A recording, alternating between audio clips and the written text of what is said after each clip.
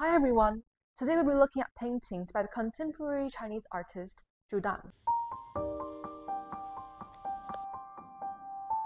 One feature that separates Zhu Dan's non-figurative art from other American-influenced abstract artists is his reference to the Aboriginal art of Australia, the country where he received his artistic training. This can be seen in the lively, organic brushstrokes that depicts and celebrates the thriving vitality of nature.